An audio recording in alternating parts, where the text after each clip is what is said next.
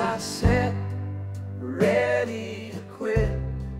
A million questions, a million thoughts, a million reasons to just give up. Only one reason to not. How long can it hold? The reason to not. Will it continue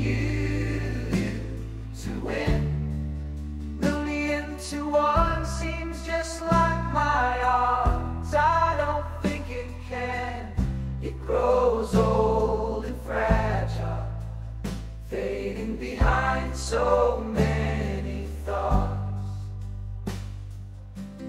Time changes perspective.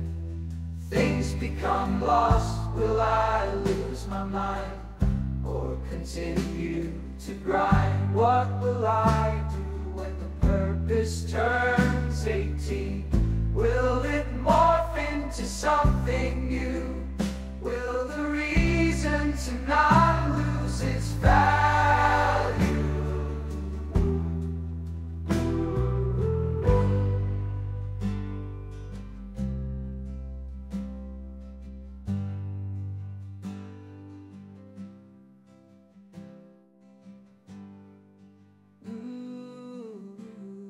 Its value.